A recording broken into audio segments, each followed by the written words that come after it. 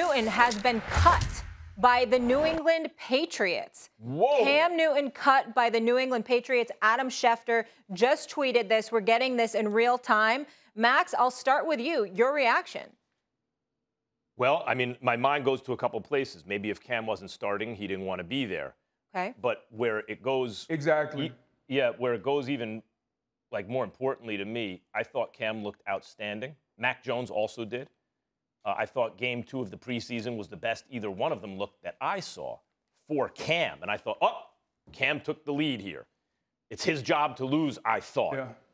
And then he had to go through protocols for the unvaccinated. Played a big factor. He has not said that he, he, first of all, he has refused to make public whether or not he's been vaccinated, calling it a private decision. We're in a public health crisis. I don't know why people insist on this, on this idea that it's private. It's actually a public issue.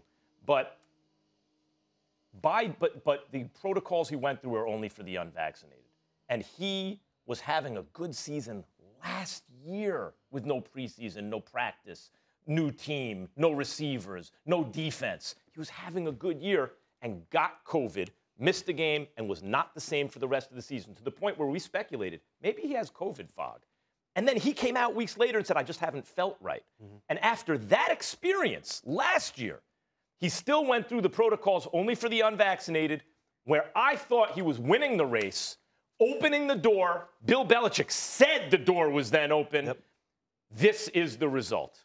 Well, he, he it opened up Pandora's box, right? And for this organization, I think one of the things for Bill Belichick and the Patriots organization, they started getting deja vu again, right, from last year because they felt like they were doing good up to, up until, until that point when Cam caught COVID and he had to miss that time.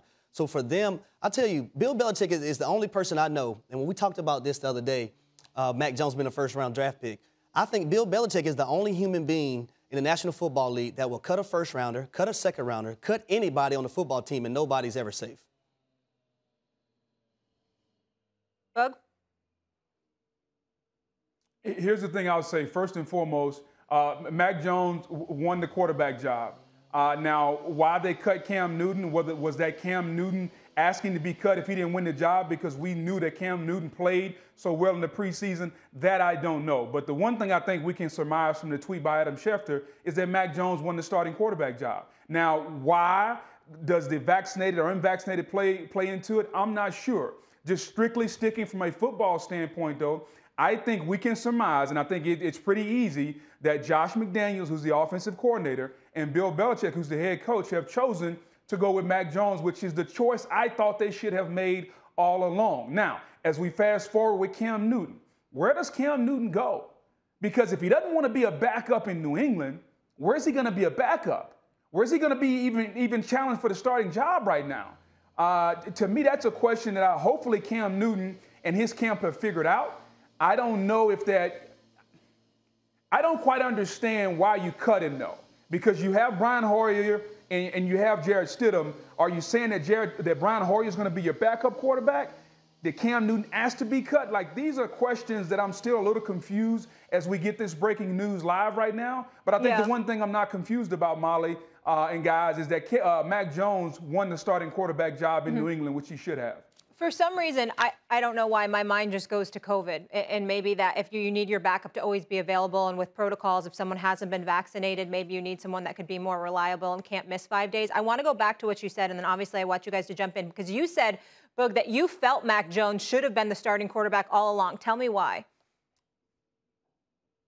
Because Mac Jones gives Josh McDaniels, the offensive coordinator, and Bill Belichick, the head coach, to run the offense that they're more consistent and more comfortable with, similar to what they ran with Tom Brady.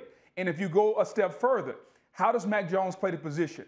He throws the football with accuracy and timing, and he, make, gr- he makes great decisions. Max, you said yourself, those are two of the most important components of playing the position.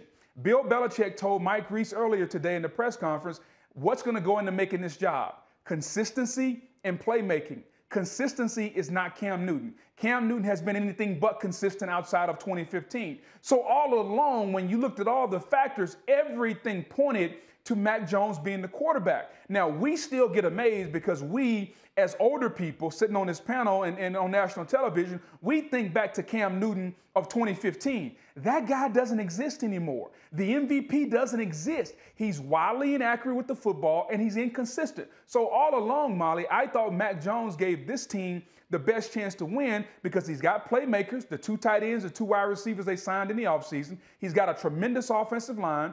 The defense is going to be better with Hightower back. I still need to see what's going on with Gilmore at the cornerback spot. But overall, Mac Jones is a plug and play guy with all the weapons around him. So I thought he was going to win the job regardless of whether Cam Newton was cut or not today.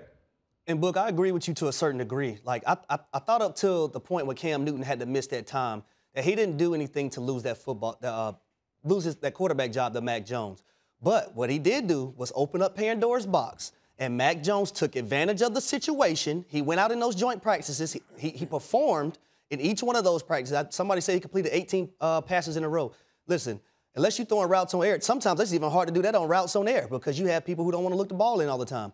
But that's amazing to me. But what, what do right. coaches want their players to do? They want them to take things from the practice field to the game field.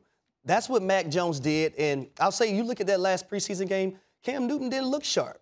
I told you, he was throwing outside the numbers. He was skipping passes. Passes are low. And I told you, I did not like that interception that he threw uh, at all. So I thought Mac Jones won this job the last week and a half or last week, not from the start. Um, Mac Jones, you, you made a reference Boog, earlier to the most important things for a quarterback. I would just say arm strength and accuracy, those things are prerequisites. You know, you have to be able to make all the throws. You have to do it at a certain level of consistency. And then beyond that, you have some extra. But Mac Jones certainly has the requisite arm strength and accuracy. And once you have that, really what's the most important thing? Decision making, the speed of the decisions and the quality of the decisions. And one thing about Mac Jones was he came to the Patriots, to Bill Belichick, as advertised. He came, went from Saban to Belichick as advertised, which is he made really good decisions really quickly. Thanks for watching ESPN on YouTube. For live streaming sports and premium content, subscribe to ESPN Plus.